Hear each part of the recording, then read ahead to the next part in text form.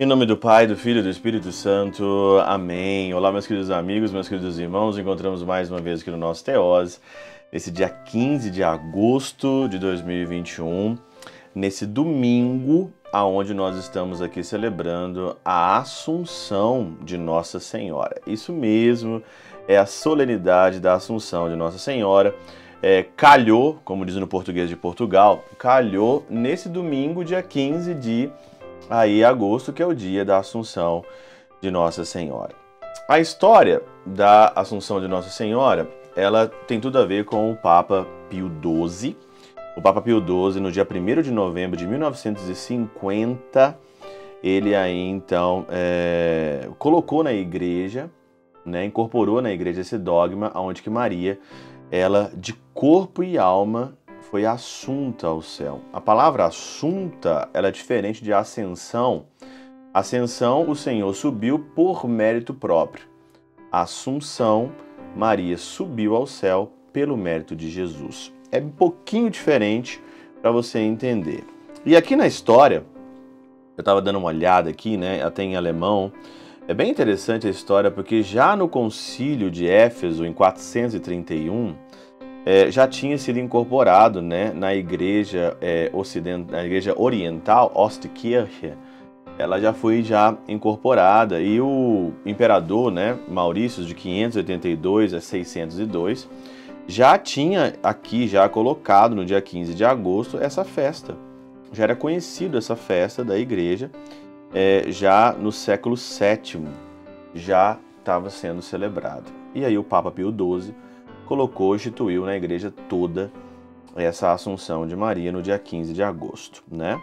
E aqui, é claro, muita gente questiona, muita gente fala, ah, não sei o que, Maria subiu ou não subiu, é, de corpo e alma. Olha, é a nossa fé e eu acredito piamente que Nossa Senhora foi elevada ao céu de corpo e alma. Não tenho dificuldade nenhuma de acreditar naquilo que a igreja instituiu. A igreja é muito maior do que eu. Quem sou eu, né?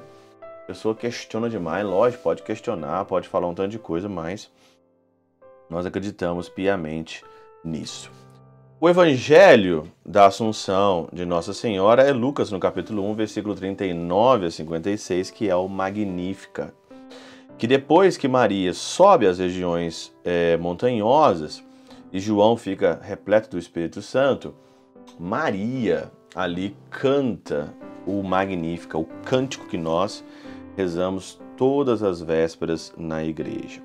E é interessante nós notarmos o seguinte: uma coisa que sempre me chamou a atenção é que depois que o anjo Gabriel anunciou a Maria que ela ia ser a mãe do Salvador, tem aqui no versículo 39, naqueles dias, Maria partiu para a região montanhosa, dirigindo-se apressadamente a uma cidade da Judéia. Apressadamente, com pressa. E aí então, eu acho super interessante que quando você pega a Catena Áurea, você pega aqui em Lucas, né? E São Tomás de Aquino cita Orígenes aqui, um grande padre da igreja. Orígenes fala o seguinte: Jesus, que estava no ventre, né, tinha pressa para santificar João, encerrado ainda no ventre de sua mãe. Por isso segue com pressa.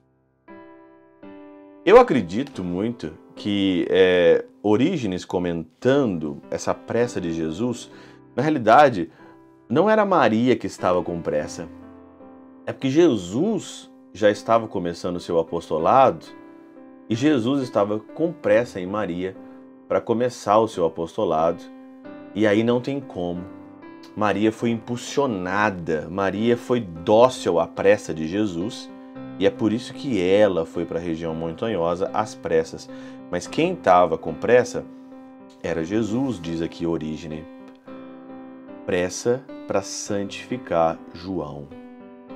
Maria, dócil às pressas do Senhor, ela foi dócil, ouviu o Senhor e ela em tudo foi a serva. Et antila, eis a serva do Senhor. Em tudo ela foi a serva e em tudo ela sendo a serva, ela se santificou.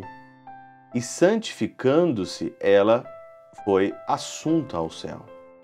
Do mesmo jeito, na nossa vida, o Senhor tem pressa para nos movimentar, ele tem pressa para nos mover, e quando a gente não é dócil, ele não pode fazer nada.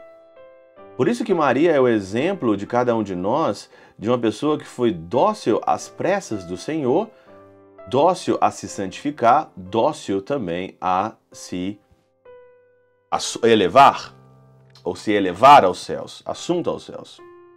Assim também nós deveríamos ser dóceis à pressa do Senhor em nós, de nós primeiramente nos santificarmos e agora nos santificarmos os outros.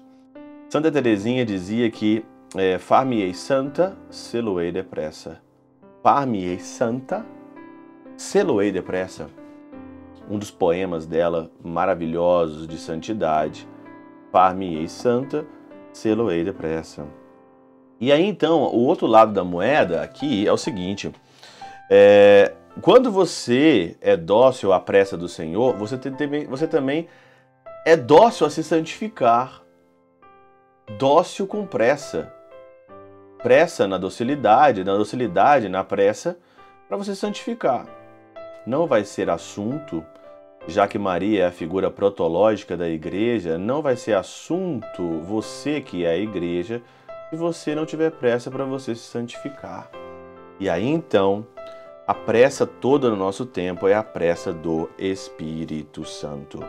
Santo Ambrósio vai dizer assim: A graça do Espírito Santo não conhece delongas, aprendei, ó virgens, a não vos deterdes nas praças, no mundo, e não vos misturades com o povo em conversas fiadas.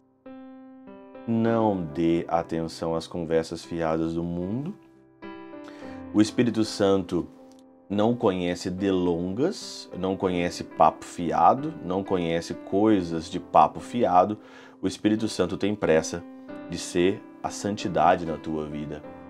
Seja dócil ao Espírito Santo, seja dócil à graça que Deus tem para se santificar, porque Ele tem pressa, pressa de você, Ele tem pressa de te possuir, Ele tem pressa de te santificar, Ele tem pressa de fazer a economia da salvação na tua vida o mais rápido possível, Ele tem pressa. Então, por favor, também tenha pressa de ser dócil, de se santificar e, consequentemente, de se elevar até o céu. Isso é assunção assunção da pressa, docilidade na pressa, pressa na docilidade.